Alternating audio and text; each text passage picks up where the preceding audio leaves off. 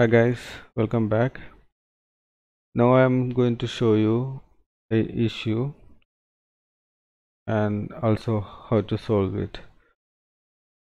Actually one of my friend called me today to solve this issue because whenever he's saving a file the window not appearing.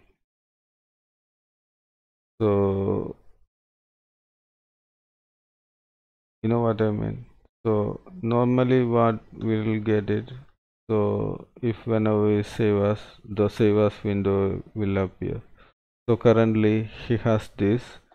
So whenever you you are save using save as then on the command bar you can see the options are coming. Normally the window will appear right so this was a simple error.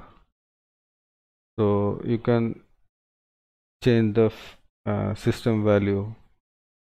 So i'm going to show you how you can change it. It's a simple. Just type fi file dia. Okay?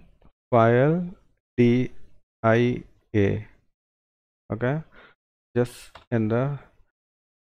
So you can see the value is zero. Just change to one then enter okay? Now you can see if you save as the window is appearing.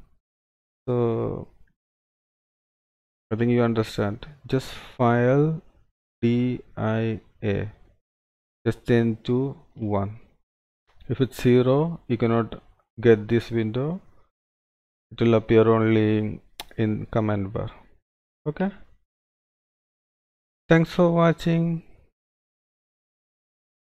If you are enjoying our videos subscribe and share to your friends. Thanks for watching. Bye